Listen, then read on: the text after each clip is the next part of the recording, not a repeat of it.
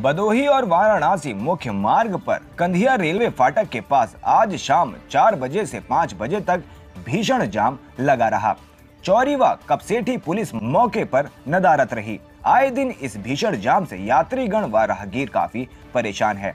इस जाम में, इस जाम में एंबुलेंस से मरीजों को लेकर काफ़ी दिक्कत का सामना करना पड़ता है। इतना ही नहीं, अधिकारी भी इस जाम के झाम में फंसे रहते हैं। मूक दर्शक बनकर चुपचाप जाम के झाम में फंसकर परेशानी झेलते हैं।